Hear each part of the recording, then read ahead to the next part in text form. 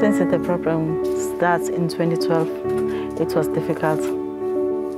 We used to bury people every Saturday, but now people they are understanding about HIV. They are more open to us than before. We identified that there is a great need in the community to try and decentralize the health system. So the Community Health Agents program was started in 2012. We currently have about 82 community health agents. And these are lay people that are living in a community and are employed to work within their community by educating them about HIV, reducing the stigma, and testing the members of their community visit door to door.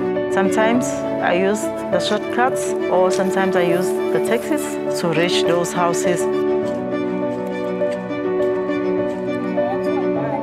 Making sure that people can access HIV testing and counseling, they can access TB screening, they can also be able to get support from the people that are within their community. More people, they don't like to go to the clinic for testing because of the stigma they are afraid of going to the clinic because the clinic is always full. It is much easier if you test at home than in the clinic.